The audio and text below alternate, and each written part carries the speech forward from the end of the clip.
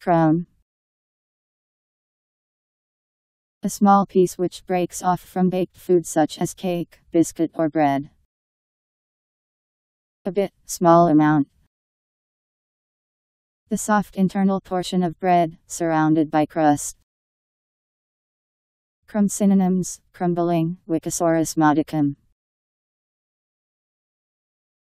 C R U M B. Crumb.